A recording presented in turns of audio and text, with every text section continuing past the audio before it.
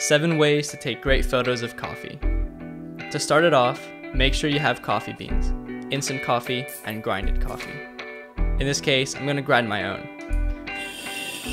Once that's done, line up 3 spoons on your surface.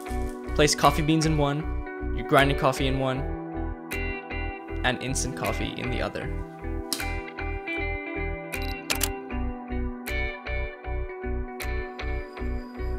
For this next one, grab a nice espresso cup and fill it all the way up to the top with coffee beans.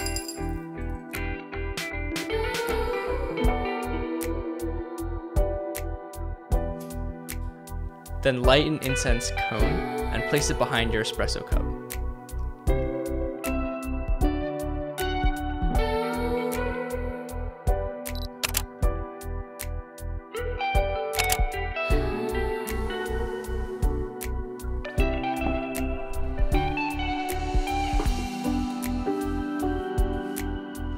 Grab a cup of coffee and some ice cubes. Then simply pick up an ice cube and drop it into your cup.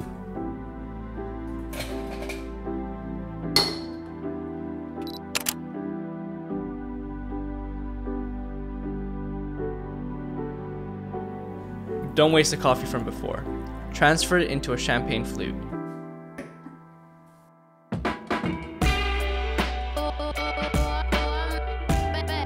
Then fill it with ice. Be generous with the amount of ice you put in. Then just dabble a little bit of milk into the coffee.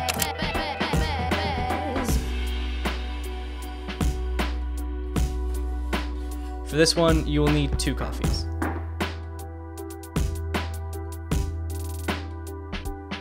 Cut out a little sliver from a black sheet of paper and use it to cover your light, so only a small sliver of light shines through onto your two coffee cups.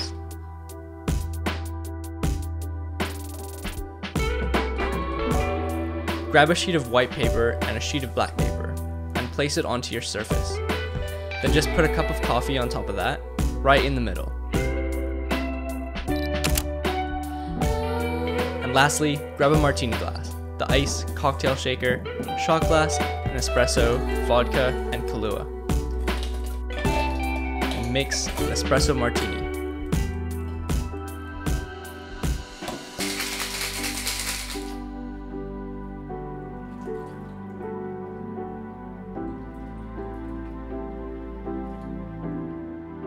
Garnish it with three coffee beans and change location if you like. This one's just a little fancier.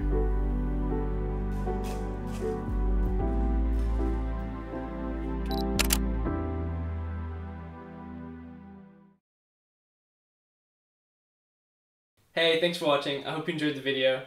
If you did, please leave a like, comment down below, and subscribe. And I'll see you next week. You didn't think I was going to show up in this video, but showed up at the end. I mean, I was in the video, but I, I physically showed up on camera at the end. I'm here. Hi. See you next week.